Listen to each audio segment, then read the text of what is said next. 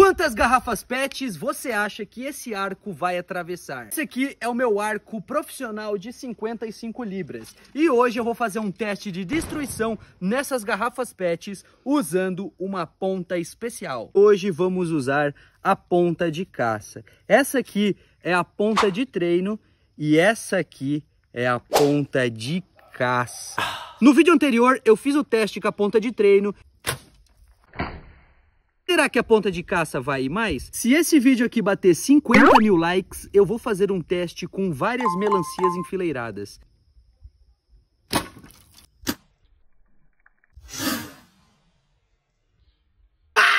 Uma, duas, três, quatro, cinco, seis, sete garrafas.